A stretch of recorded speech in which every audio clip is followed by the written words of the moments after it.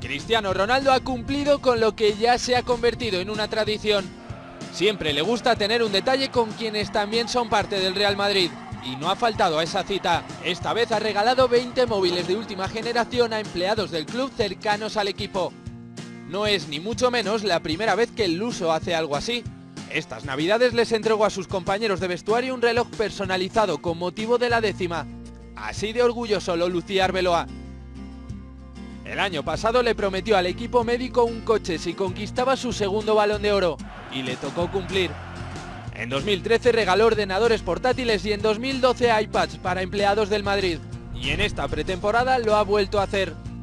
Un gesto que demuestra que a pesar de todo lo que se dice, Cristiano está feliz, contento en el Real Madrid y su buena sintonía con el club es total.